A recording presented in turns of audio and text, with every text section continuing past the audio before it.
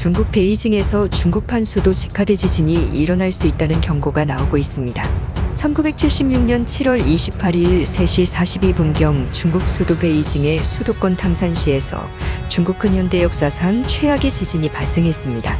리히터 규모 7.8 진도의 강진으로 공식적인 집계된 인원만 24만 2,400명의 희생자가 나왔고 중상자는 16만 4천 명, 불구 3,800명으로 20세기 들어 최악의 지진 피해로 기록되고 있습니다.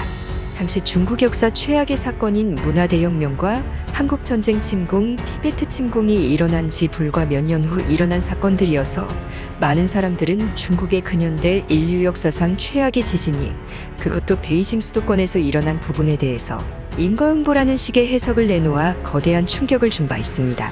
탐산시는 서울과 인천 사이에 부천쯤 되는 엄청난 인구 밀집 지역에 공장들이 많이 세워진 공업도시로서 그 희생 규모가 컸는데요. 지각이 비교적 안정적인 북중국 일대에서 이러한 지진이 일어난 것은 이례적인데 지진이 일어났던 이유는 바로 탈루단층대 때문입니다.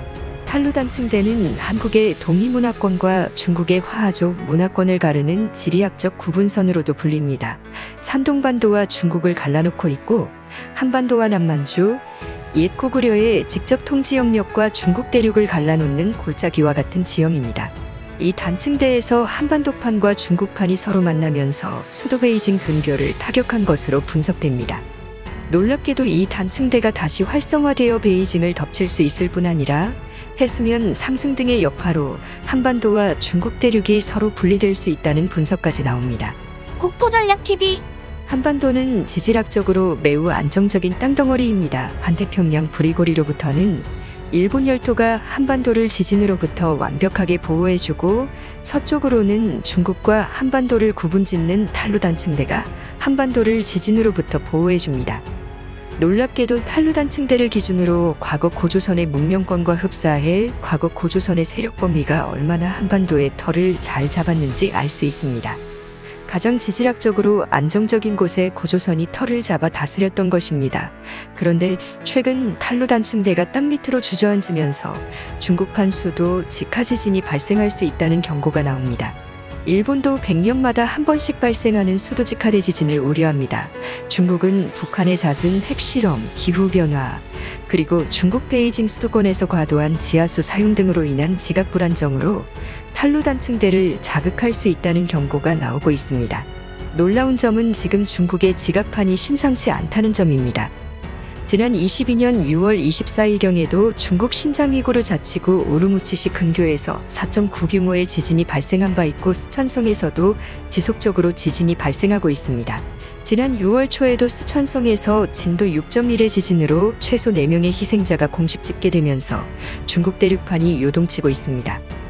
주로 서부권에서 지진이 발생하고 있는 상황인데 지각판의 동쪽 끝에 자리 잡은 탈루단층대, 그 중에서도 베이징 수도권 일대로 그 힘이 쏠리고 있다는 분석이 나오고 있습니다.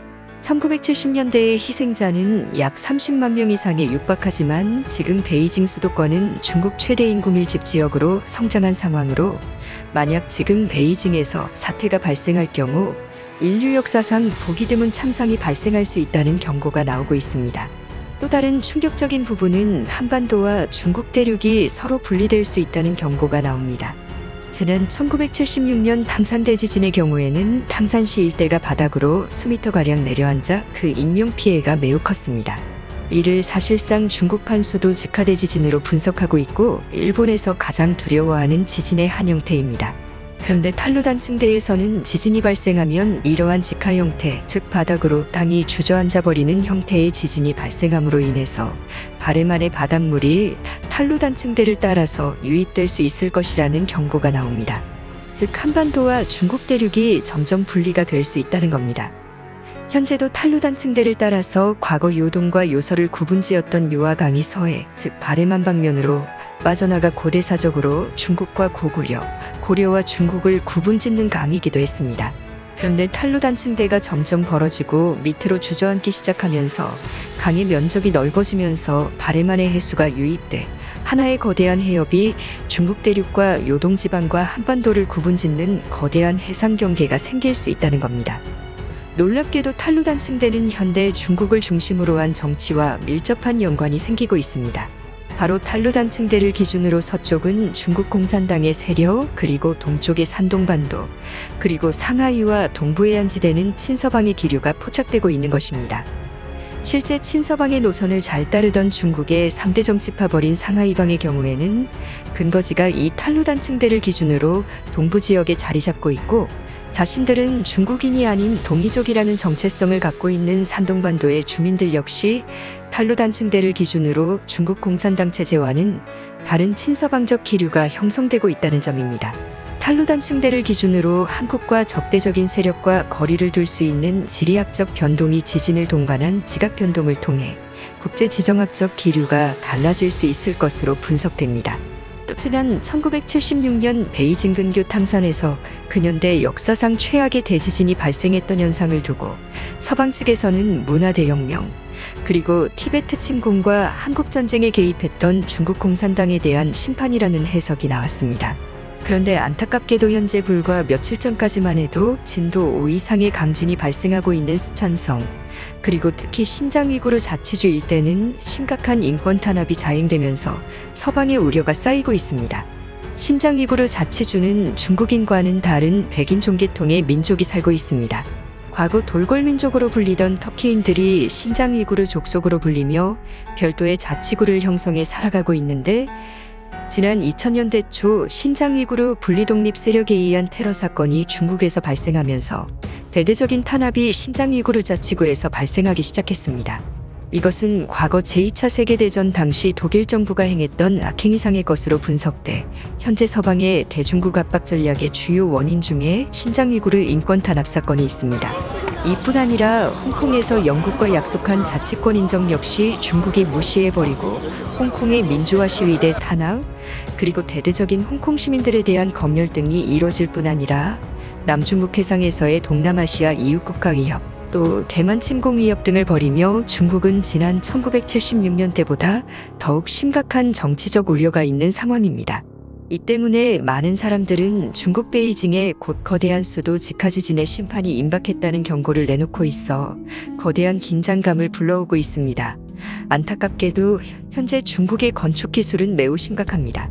콘크리트의 강도가 떨어지는 부실 공사가 고층 주거시설 공사에서 많이 시공이 이루어진 상황이며 심지어 철근을 넣어야 할 아파트에 대나무를 대신 끼워 넣는다거나 심각한 부실 공사가 대도시권에 만연해 있는 상황입니다.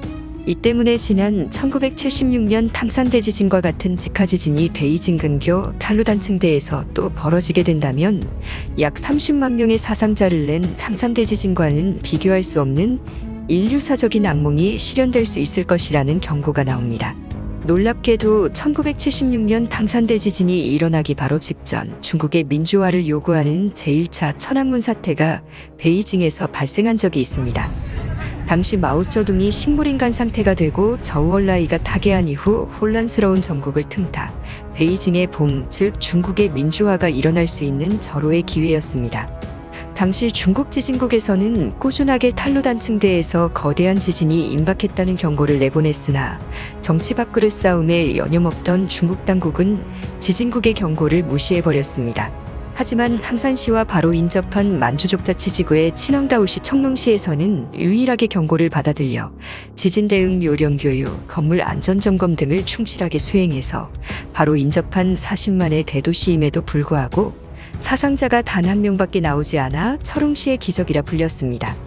놀랍게도 1976년의 상황과 지금의 혼란스러운 중국의 상황과 크게 다르지 않다는 분석이 나옵니다. 점점 혼란스러워지는 중국의 상황 속에서 한국은 지정학적 안정성을 높일 기회가 찾아오고 있습니다. 국토전략TV 오늘은 이걸로 마치겠습니다. 시청해주셔서 감사합니다.